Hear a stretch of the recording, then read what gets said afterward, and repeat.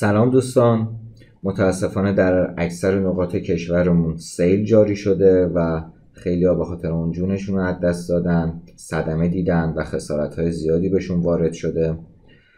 متاسفانه این بلای طبیعی هنوز ادامه داره.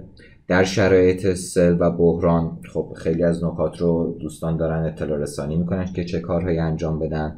اما در شرایط بعد از بحران هم ما باید یه سری نکات خیلی مهم رو توجه کنیم که من می‌خوام تو این ویدیو بهتون ارائه بدم. اولین نکته ای که باید توجه کنین این هستش زمانی که سیل حالا جاری شد و این بلا دور شدش و می‌خواین به خانه یا منزل خودتون برگردین سعی کنین تا زمانی که گفتن اون منطقه امن نیست یا منزل شما هنوز امن نیست بر نگردین و تنها زمانی که گفتن امن هستش برگردین.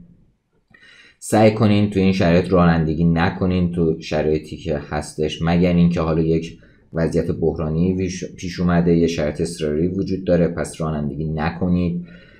وقتی که وارد منزلتون میشین بعد از اینکه سیل اومد ممکنه مار یا حیوانات خطرناکی تو اونجا وجود داشته باشه. حتما پوتین و کفش های ساق بلند بپوشید که یه موقع ماری چیزی وجود داشت. صدمه نبینین. توجه داشته باشید که خطر بر گرفتگی وجود داره.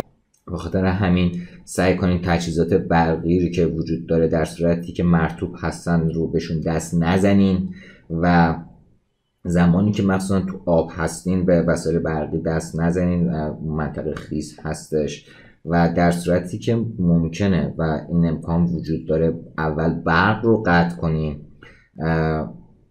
ممکنه خطرناک باشه که بخوایم بین هم موقع فیوز رو هم حتی بزنین چون ممکنه که مرتوب باشه. این در صورتی که امن بودش اول برق رو قطع کنین و بعد بخواین پاکسازی رو انجام بدین از راه رفتن در آبهای سیلابی حتما خودداری بکنید چون ممکنه که اون آبها آلوده باشه خطرات عفونی و مریضی وجود داشته باشه حتی ممکنه که اسیدی باشه.